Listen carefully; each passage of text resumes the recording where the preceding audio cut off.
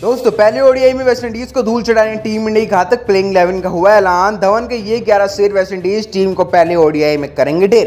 तो ऐसे में क्या कुछ है पूरी खबर की जानकारी? सब कुछ बताएँगे आपको इस खास रिपोर्ट में। लेकिन उससे पहले, अगर आप भी चाहते कि भारतीय टीम पहला वनडे मुकाबला अपने नाम कर ले तो इस वीडियो को लाइक और चैनल को सब्सक्राइब कर लीजिए। तो चलिए वीडियो शुरू करते हैं। दोस्तों, जैसे कि आप सबको मालूम है कि भारतीय टीम वेस्टइंडीज के दौरे पर पहुँच गई है। और ऐसे में भारत और वेस्टइंडीज के बीच तीन मैचों की वनडे श्रृंखला खेली जाएगी। तो वहीं इसके बाद दोस्तों, पाँच मैचों की टी सीरीज़ खेली जाने वाली है। दोस्तों, वहीं आपको बता दें कि वनडे श्रृंखला के लिए बीसीआई ने भारतीय टीम का कप्तान शिखर धवन को बनाया है। तो वही दोस्तों, पहला वनडे मुकाबला बाईस जुलाई को खेला जाएगा। तो वही इसके बाद दूसरा वनडे मुकाबला चौबीस को खेला जाएगा। तो वही तीसरा और आखिरी वनडे मुकाबला सत्ताईस जुलाई को खेला जाने वाला है। और ऐसे में दोस्तों, ये जानते हैं कि आखिरकार क्या होने वाली है। पहले वनडे मुकाबले के लिए वेस्ट इंडीज के खिलाफ भारतीय टीम की खतरनाक प्लेइंग इलेवन वहीं दोस्तों, बात करें ओपनिंग जोड़ी की तो कप्तान शिखर धवन के साथ ईशान किशन बल्लेबाजी करने वाले हैं। यानी कि नंबर एक पर शिखर धवन होंगे तो वही नंबर दो पर दोस्तों ईशान किशन होने वाले हैं। तो वही नंबर तीन पर दोस्तों विस्फोटक बल्लेबाज, एक बार फिर सूर्य कुमार यादव होंगे। तो वही नंबर चार की बात करें तो विकेट कीपर बल्लेबाज संजू सैमसन खेलते नज़र आने वाले हैं तो नंबर पाँच की बात करें, दोस्तों, सुरेश अय्यर होंगे तो नंबर छह की बात करें तो